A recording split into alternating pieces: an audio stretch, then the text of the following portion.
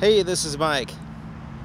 I'm here in Myrtle Beach, South Carolina, visiting East Coast Honda and checking out this 2016 Honda Pilot EX. Now this is the one, one of the main differences with the EX is that it has a six-speed transmission versus a nine-speed transmission and this one has the cloth interior, stuff like that. But this one comes in a different price point. So let's go ahead and check it out they did a really good job. Honda did a really good job with the styling, I think, of the 16 Pilot. And it really has gotten a lot of attention. So let's go ahead and check out the wheels first.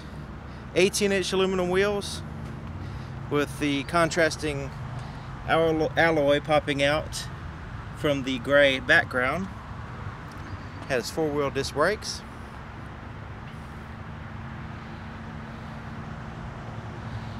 Give you a profile view here.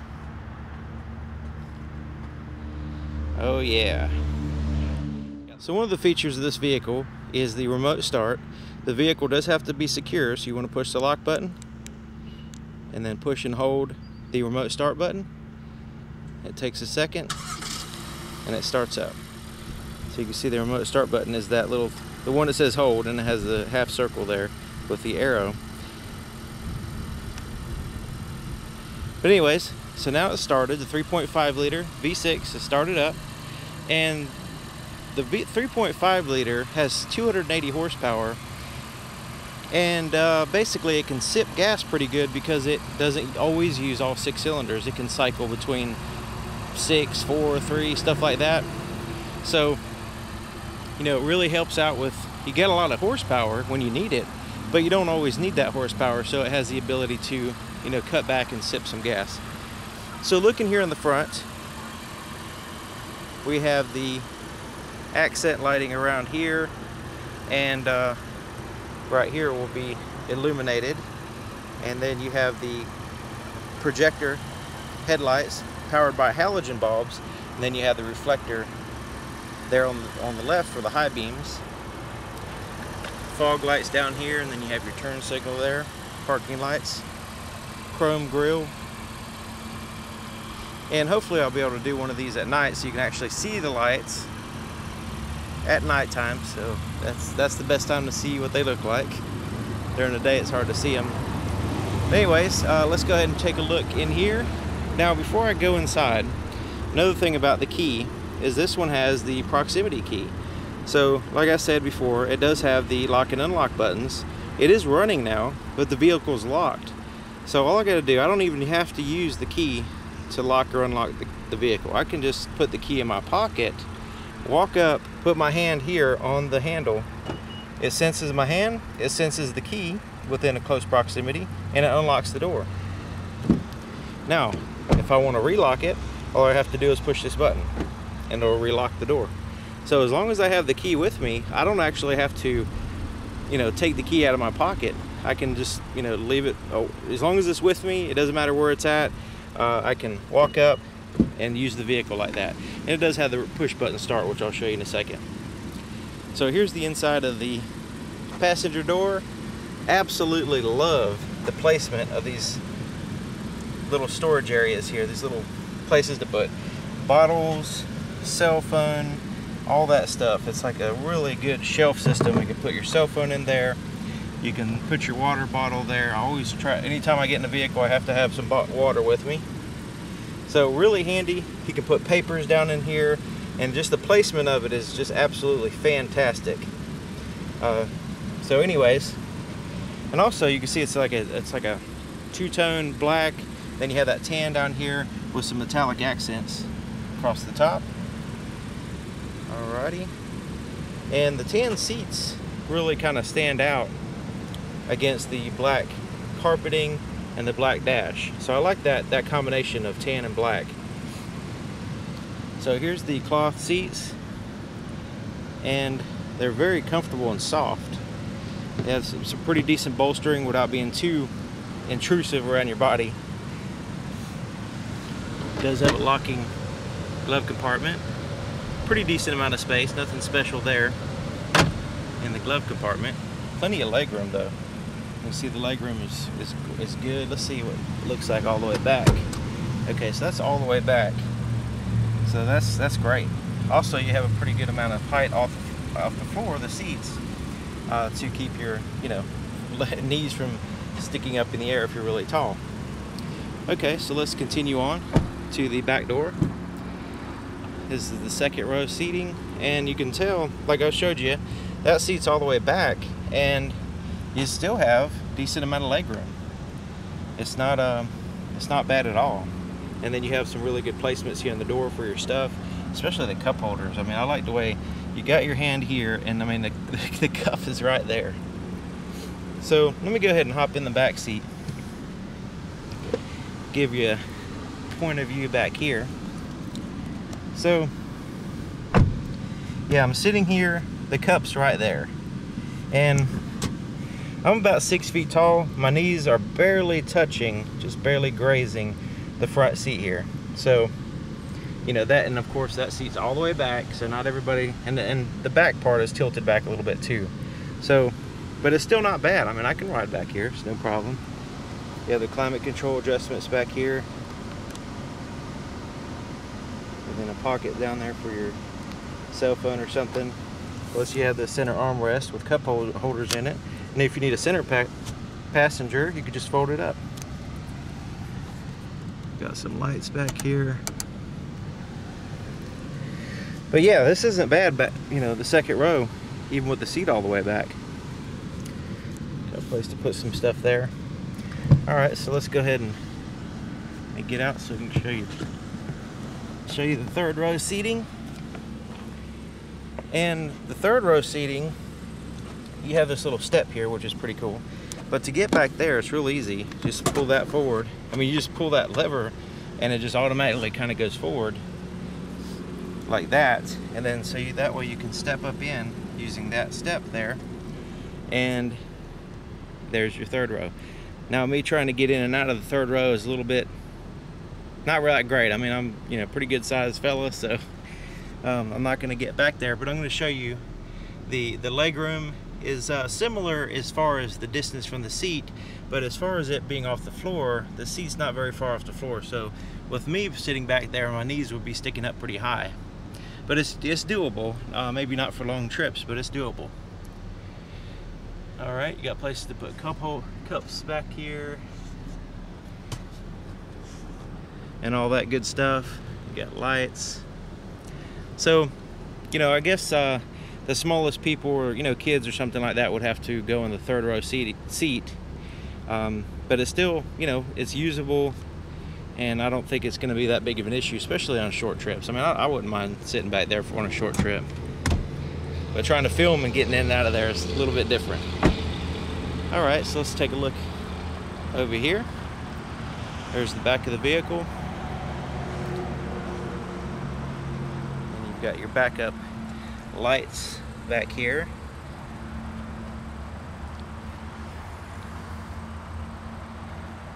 Alright. And the backup camera lens is here. And just to the right of that is a little button for opening up the, uh, the trunk. It's right under there. Plus you can lock it with that button to the right of it. You kind of have to feel it better than you can see it. But anyways, here the, here's the back. And all right, so you can see it has a some level of, of reclining, uh, just a few inches there to recline the third row seats. But um, so you can adjust that with a strap up there, there in the corner there. While you're sitting in the seat, you can kind of pull it and adjust it. But you can also lower these seats if you want to by pulling the strap. So you just pull straight down on the strap, it lowers the headrest, and it releases it completely to where it can go down. And so that way you can pretty much double, almost over double your cargo capacity back here. Another thing is, there's some storage space under here in case you want to have some stuff out of sight. But if you really need to utilize that space without covering it up, you can take this whole cover and you can remove it, put it down here, and drop it in place, and it snaps in place. And that way you can utilize that space and the cover is stored as well so you can put stuff in there also you know on the seats here if you want to util utilize this that whole cargo cargo area. You can also fold down the second row. So it gives you plenty of space uh, for cargo area as long as you don't need all the passenger space as well. And even if when you do, you still have the, you know, the cargo capacity there. All right, so let's go ahead and close it up.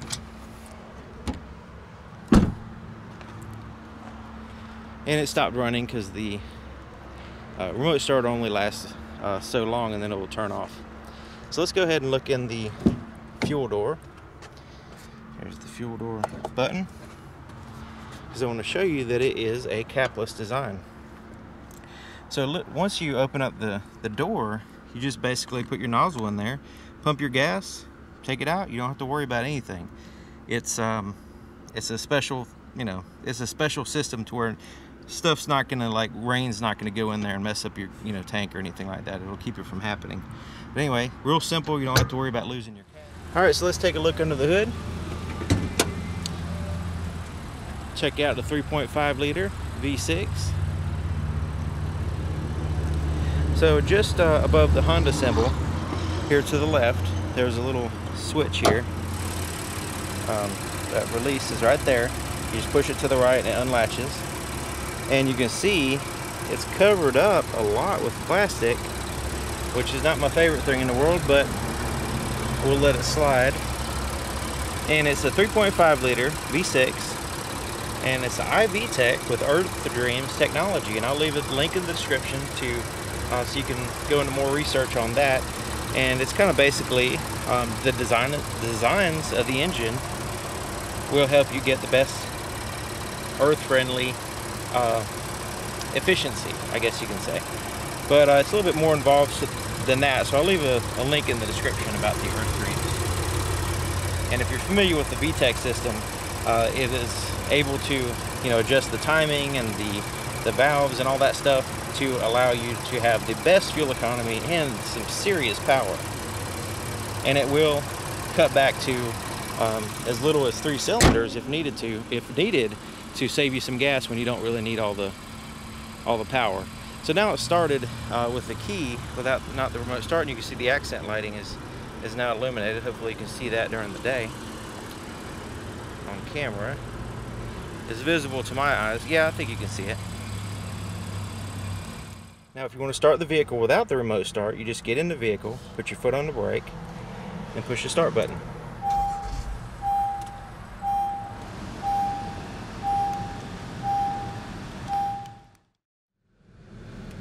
Okay, so here we are on the inside. and the EEX comes with the six-speed transmission so you can see the shifter is a little bit different than the nine-speed which is more of an electric shifter with the buttons. Let's go ahead and start here on the door. You have the power windows and the front two are automatic so I can just push that like that and the window goes all the way down without me holding it that's kind of what the whole automatic thing is going is for power door locks are here. You can also lock out the other power windows if you need to. Um, just completely stop them from being rolled up and down. Uh, that's handy with young kids so they don't play around with the windows. And then you can see you have the same, it's pretty much a mirror of the other uh, the passenger door with all the pockets and everything. Very handy to get to, um, very convenient. Okay, so over here we have the traction control button here at the bottom and that's always on unless you want to turn it off and the only time you want to turn it off is if you're stuck or for some reason you need to spin tires. You're stuck in the snow or mud or something like that and you need to spin tires to break yourself free. This is how you adjust your side mirrors and you just go to the left or right and then you can adjust it with this little pad and then you put it back in the center position so you don't accidentally mess up your mirrors you just adjust it and this now the economy mode when you push that green button, I'm going to go ahead and turn the fan up just so you can hear it. So I'm to push that button.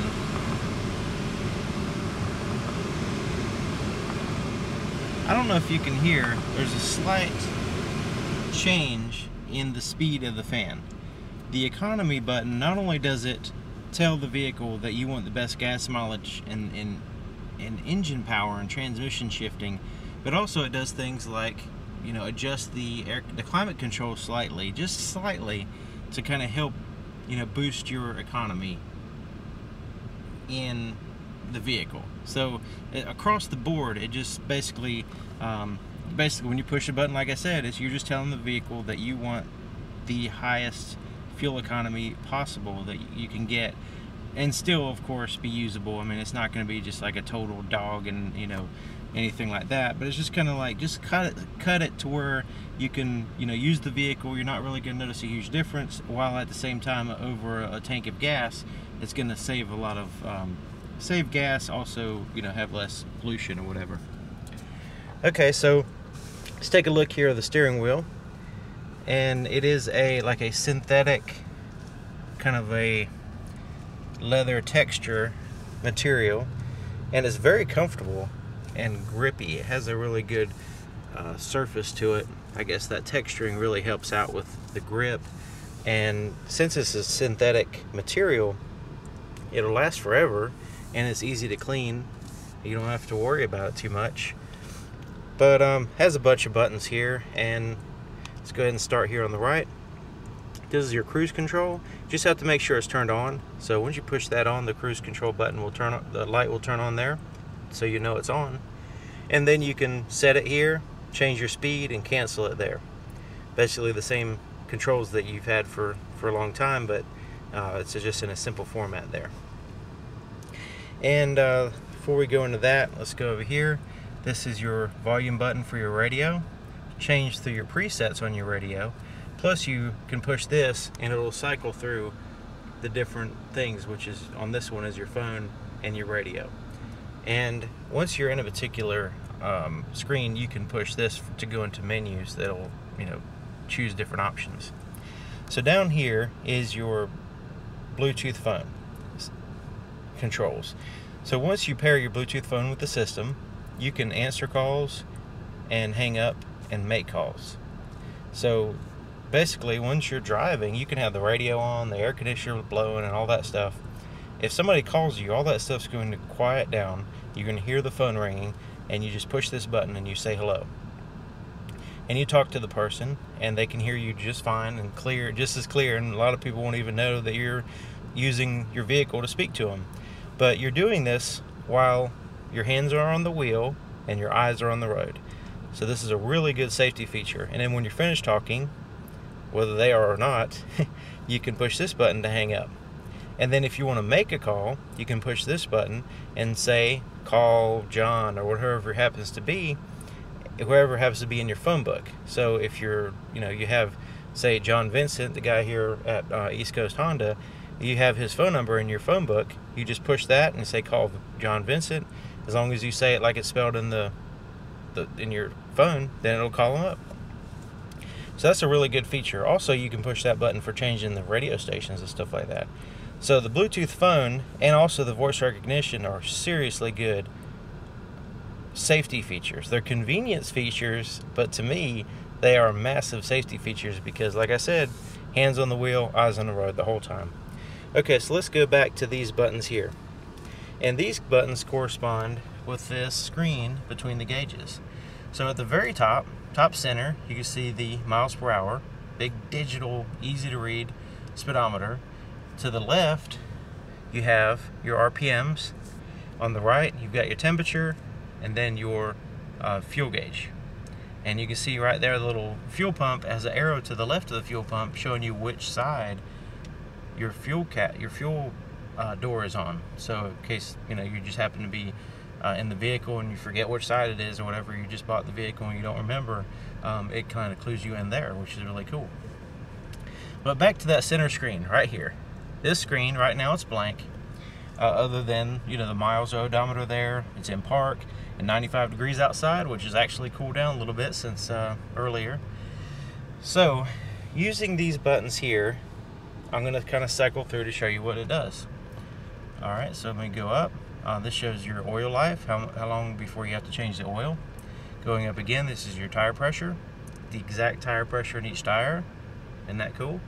And of course, if, if there is a particular tire that's out of range, it will pop up and alert you. You don't have to actually have to look at that all the time. Um, you know, it'll, it'll alert you if there's something out of, out of range. Scrolling up again, this is your, your compass. So right now the vehicle is facing southwest. Scrolling up again, uh, this is your trip B. It gives your distance, your average fuel economy, and your range. And then you have a real-time fuel economy there at the very bottom as you're driving. And then you have the trip A, so your you know drive computers here, A and B. And then you're going to change from miles per hour to kilometers there if you want to. And then it scrolls back to the other side. So you can go, you know, keep scrolling up and down to the point where you need to go. So you can go up or down. You don't have to constantly go up. So that's basically, you know, the basics there on that screen and using it with these controls here. Your headlight controls are here. You can, there's your parking lights, there's off, then there's auto, and then there's on. Auto is a really good feature because you just put it on automatic and you just drive your vehicle and it, it turns on and off when needed. And then your fog light controls are here.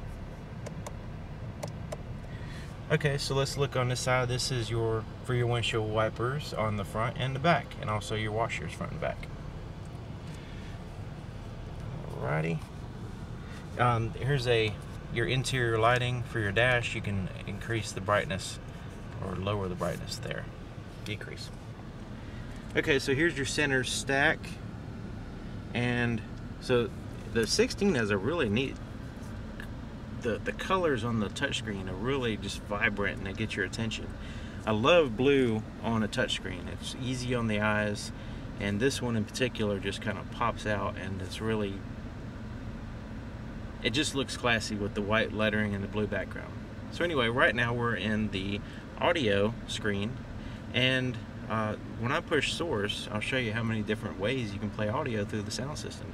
AM, FM, satellite radio, USB, USB on iPod, uh, Pandora, which goes through your cell phone, which is like an internet radio, your Bluetooth, which is through your cell phone or any other Bluetooth audio device, auxiliary input, which I'll show you where these uh, these are in a second, and also um, audio apps through the Honda um, the Honda uh, app. I'll show you that in a second right here. Uh, the Honda link there. But okay, so pushing home takes you back. Right now we're we're in audio, but push you home, pushing home brings up all these icons, sort of like your computer or your cell phone. Um, you have this ability to go into different different screens, which you can add to this. This is all that's on there now. You got phone, information, audio, Honda Link, AHA, and settings. So that's where we're in the audio. And the phone, once you pair your phone, you'll have more information. Right now it's asking if you want to pair the phone. But you'll be able to have your, your phone book and call history and all that stuff. Speed dial, which is really handy when you're driving. Alright, let's go back home. Information. Uh, you, can, you, can, go into your trip computer. Also, you can change the, the wallpaper. You can have this wallpaper right here um, of like your family or whatever with a big clock in the middle as you're driving. That's really cool. Uh, Honda Link, um, this is an app that you actually have to uh, download and put on your phone, and then you you put in your VIN number and all that stuff, and you can, you know, it makes a connection with your computer, uh, with your cell phone, which your smartphone is basically a pocket computer. So um, I'm not going to do that now. So it, it's it has the ability to connect up some different apps and stuff. AHA is one of, is an app that you can that runs through your computer, uh, your your cell phone, and you can play music just like it's just like uh, it's like another internet radio type thing. And then settings. Uh, this is where you can change your your clock, your your time. Your, you can pair phones, stuff like that, and change your audio. So anyways, there's the main features there of the the touchscreen, and you know you have the ability to change the brightness here, you know, for day and night, because uh, at nighttime you don't want it so bright. But um, but that's the main features there: the touchscreen, the radio, and the Bluetooth is the main features here. All right, so there's your start button, like I showed you before. I like the way it's, it's kind of nice, cool looking red, gets catch your attention. Okay, so down here, this is your four-way flashers. Down here is your climate control, and your your temperature is here, and this is like a tri-zone. So dual zone here in the front, and then you have the rear. So right now it's synced, And to unsync it, all you have to do is either adjust it in the back or here. So right now I just change this side. All of a sudden now it's unsynced. You can always sync it by pushing that button. So your fan speed's here and you can control the rear setting if you want. Um, and then you're you know recirculate the air front and rear defrosters pretty e real easy to use system for the climate here's a pocket really good it's kind of a split so you can put cell phones in there for driver and passenger it looks like as long as they don't have cell phone bigger than mine so there's the like a storage area there for putting stuff power outlet and then here is uh, two USBs. One's a 1.5 amp, one is a 2.5 amp. There. Cup holders, pretty good size cup holders too, and they're connected there in the center in case you want to put your cell phone in there. So here's your six-speed transmission shifter, and I'm going to go ahead and put it in reverse. And it pops up the backup camera. And the backup camera has these lines, these yellow lines, uh, showing you how wide the vehicle is and also that dotted line is like the absolute closest you want to go to something. It looks like there's a lot of room, but it's actually just a few inches because of the distortion of the lens. The lens, it's a distorted lens to give you a broader view, so it's bringing in more um, more light from around the, the behind the vehicle, uh, more angles, I guess you can say.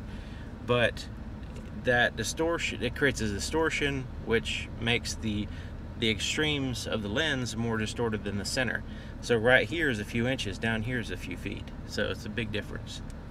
So also when you turn the steering wheel like I'm doing now, you'll notice that the lines actually move and that gives you the estimated trajectory of the vehicle as you're backing up. So kind of helps out. It helps with, you know, backing up of course, but also helps with the distortion of the lens. And the cool feature on the end of this is this cool little button and I'm going to push it to show you and it gives you a good view of your blind spot over here so if you're trying to get over or if you're trying to change lanes or whatever and you just kind of need to see over there on that side with your hand on the wheel you can push that button and all of a sudden you're looking in your blind spot which is awesome obviously um, also, I want to mention that this side mirror, I don't know if you noticed that little line there. This little side, this side mirror, I don't know if you can see, that right there on the end is a little bit distorted. And that is to give you a better view of your blind spot as well. Isn't that neat? Okay, so let's continue down. You've got uh, neutral and then drive.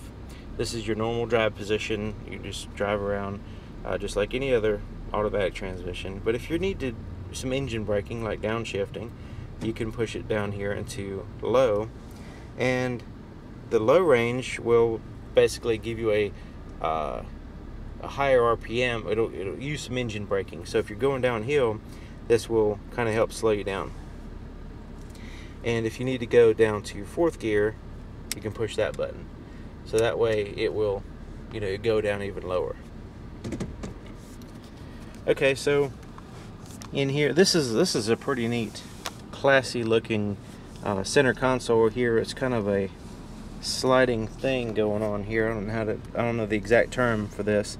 So like a roll top desk, but this you can close it and you can utilize the space here, or you can open it up and you can put stuff in here.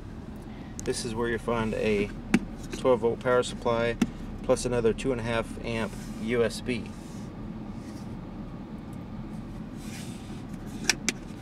Alright, and also you have this little tray that slides around. It slides pretty easy too. And you, so you can put stuff in there, slide it back, and then you can, you know, utilize this space in here as a storage space. You can also close it up and you and you know kind of put stuff there if you need to. Alright, so let's look at the rear view mirror. It does have the day and night mode that's manual. We've got tap lights up here. So your interior lights, you can turn them all on right here. Or you could put it in the center position for your door. When you open up the door, the interior lights will turn on. Or you can disable that by putting it to off. So even if the door's open, the lights will not turn on. here's your garage door controls and um, you just pair it with your your garage door as a HomeLink system so here's a place to put your shades and it has like a foam um, soft foam interior to protect your sunglasses but check this out lift it up and drop it right there and you have a conversation mirror so you can keep an eye on all the backseat drivers back there and see what's going on the visors have mirrors and lights in them. Same thing on that side. All right, so let's take a look in the back, see, see what the visibility looks like.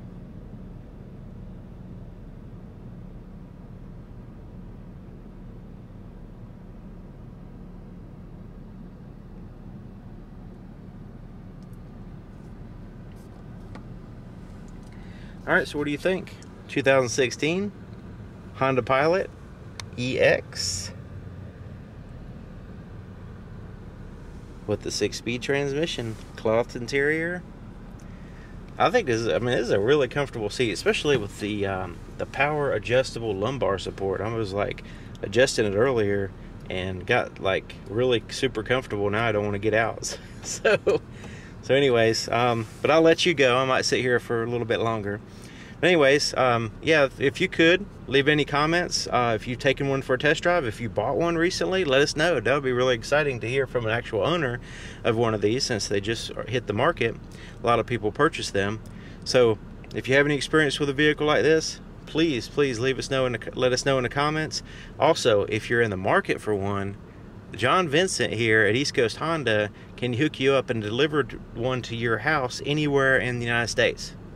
So I think that's a really good service, and all it takes is an email to get it started. So I'll leave his contact information in the description, and I'll see you next time. Thanks.